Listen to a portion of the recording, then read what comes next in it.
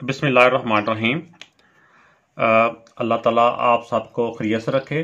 तो बेटा, ये जो क्वेश्चन नंबर सेवन से लेके ट्वेंटी फोर तक है इस एक्सरसाइज का, इसमें ये है कि इसमें हमने, इसमें एक लेफ़्ट हैंड साइड दी हुई है और एक राइट हैंड साइड दी हुई है। तो इसमें या तो हमने लेफ़्ट साइड को सॉल्व करके उसको राइट हैंड साइड की इक्वल लेके आना होता है आंसर या फिर हम राइट साइड को सॉल्व करते हुए हमने उसका आंसर लेफ़्ट साइड की इक्वल लेके आना होता है और प्रूव करना होता है कि ये इसके इक्वल है या नहीं है। वैसे तो सारी इक्वल ही हैं, लेकिन हमने इसको डिफरेंट मेथड के साथ, जो भी किसी के लिए जो मेथड जो किसी को आसान लगता है, उसी मेथड से आपने इसको इस तरह प्रूव करना है। तो बेटा इसमें ये क्वेश्चन है तो एक डिफरेंट स्टाइल के, लेकिन ये इजी बहुत है। अगर समझ में आ जाए तो इजी बहुत है। और समझ, आप कोशिश करें कि हमने समझना है कि अगर एक बंदा कह रहा है कि ये आसान है तो हो सकता है कि वाकई आसान हो। तो आप बेटा कोशिश करें, मैं भी समझाता हूँ, आप भी कोशिश करें। तो इन ताला तो हम इसको सॉल्व करते हैं। तो बेटा मैंने इस क्वेश्चन में ये लेफ़्ट हैंड साइड को मैंने लिया है, और इसको मैं सॉल्व करूँगा, और मैं सॉल्व करते हुए इसको राइट साइड के इक्वल लेके आऊँगा। इसमें देखिए कि ये जो हमारी लेफ़्ट साइड है, इसमें ये वन माइनस साइन स्क्वेयर और फिर into one plus sine sine theta one minus sine theta into one plus sine theta तो इसमें जो फार्मूला बन रहा है, हमें जो अंदाज़ा हो रहा है कि एक हमने फार्मूला जो इससे पहले आज जबरे में हम करते आ रहे हैं क्लास सिक्स सेवन से आता है फार्मूला वो। तो ये वाला formula A plus B into A minus B इसमें जो सी मर्ज़ी वैल्यू पहले हम लिख सकते हैं चाहे ए माइनस बी पहले लिख, लें और ए प्लस बी बाद में लिख लें इससे फ़र्क नहीं पड़ता। तो इस तरह से दोनों ब्रैकेटों में पहले वाली वैल्यू सेम हो बाद वाली भी सेम हो साइन डिफरेंट हो तो हम इसको लिख सकते हैं A square minus B square मतलब कि पहली वाली वैल्यू का स्क्वेयर माइनस दूसरी जो जो वैल्यू है उसका स्क्वेयर उसी फार्मूले के अकॉर्डिंग देखें आप कि इसमें इसमें भी दोनों ब्रैकेटों में पहली वाली वैल्यू आपस में सेम है, बाद वाली आपस में सेम है और साइन इनके डिफरेंट है तो ये वाला फार्मूला अप्लाई हो रहा है। इसमें फ़र्स्ट वैल्यू का स्क्वेयर हम डायरेक्ट भी लिख सकते हैं, लेकिन क्योंकि मैं समझा रहा हूँ, मैंने ये स्टेप पूरा आपको शो करना है। फ़र्स्ट वैल्यू का स्क्वेयर माइनस सेकंड वैल्यू जो है उसका स्क्वेयर इसको सॉल्व कर लें। वन का स्क्वेयर किसके इक्वल होता है? वन का स्क्वेयर वन ही होता है, और इसका स्क्वेयर नीचे लाएँगे तो आ जाएगा साइन स्क्वेयर थीटा तो ये हो गया। अब हमने देखना है कि ये फर्दर किसके ये इक्वल होता है? इसका भी मैं एक फार्मूला आपको लिखता हूँ साइड पे। तो बेटा ये एक फार्मूला है, इसको भी आपने अच्छी तरह से अपने जेन में बिठाना है कि sine square theta plus cos square theta equal to one यानी साइन का स्केयर और कॉस के स्केयर का जो सम होता है इक्वल टू वन होता है। तो ये एक फार्मूला है। तो ये मुख्तलिफ़ सिचुएशन के मुताबिक कभी हम इसको उधर ले जाएँगे, ये इधर रह जाएगा। जैसे देखो, इस वाले क्वेश्चन के अकॉर्डिंग अगर हम कॉस स्केयर को इधर रहने दें फार्मूला यही है। इसको आगे फर्दर हम इस तरह लिख सकते हैं। कॉस जो स्केयर थीटा इधर रह जाएगा, और ये इक्वल टू वन है। ये साइन स्केयर इस तरफ़ पॉजिटिव का है, उस तरफ़ जाएगा तो नेगेटिव का हो जाएगा। साइन स्केयर थीटा अब देखें कि जो हमारे पास क्वेश्चन है क्वेश्चन के अकॉर्डिंग ये वाली वैल्यू सेम होगी ना? तो ये वाली वैल्यू किसके इक्वल है? ये कॉस के थीटा के इक्वल है। तो कॉस के थीटा ऐसे हो गया। Equal to right hand side तो ये बेटा प्रूव हो गया, ये इसका आंसर आ गया। तो इसके जो फार्मूलेज हैं आइडेंटिटीज हैं इतनी ज़्यादा नहीं है। फिर भी मैं कोशिश कर रहा हूँ कि ये इसको डिफरेंट कलर दिया जाए फार्मूलाज को। रेड कलर में मैं लिख रहा हूँ।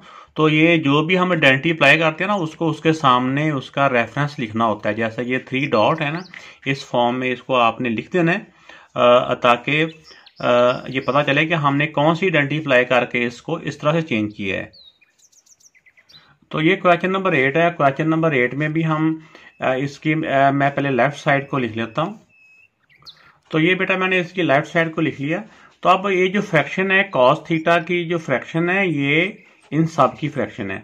हम इसको अगर अलहदा अलहदा भी लिखना चाहें तो ऐसे करके हम लिख सकते हैं।